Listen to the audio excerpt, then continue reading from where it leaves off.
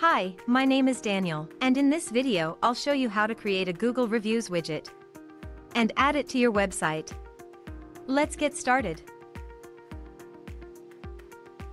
The Google Reviews widget is a great addition to any website.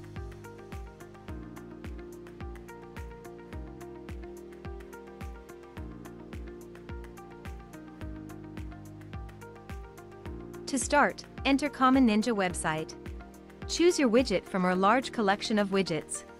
And once you've entered the widget page, click on the Create button to enter the Google Reviews widget editor. In the editor, start by searching for your business name.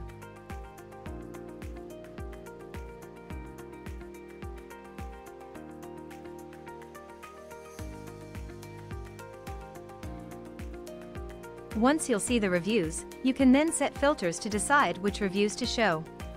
You can highlight and pin specific reviews to the top. Or hide undesired reviews. In the editor, you can select a layout.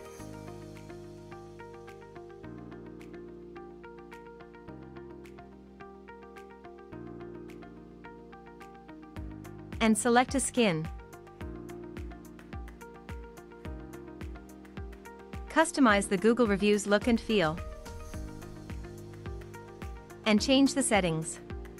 When you're done, click the Save Changes button to save your work. If you don't have an account on Common Ninja yet, you'll have to register first. When you're ready to add the Google Reviews widget to your website, go back to the dashboard. Now, on the dashboard, you'll see the widget you've created. Click on the Add to Website button in the window that opens, copy the code. And close the window. Remember, you can always return to the widget and keep on editing it.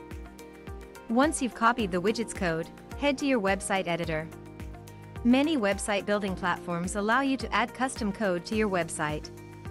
On some platforms, you can use the text editor to add a code in the text area where you can simply paste the widget code you've copied before.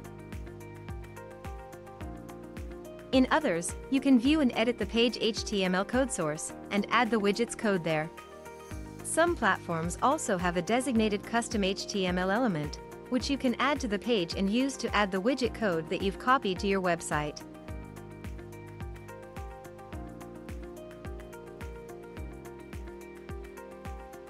Now, the Google reviews will show on your website.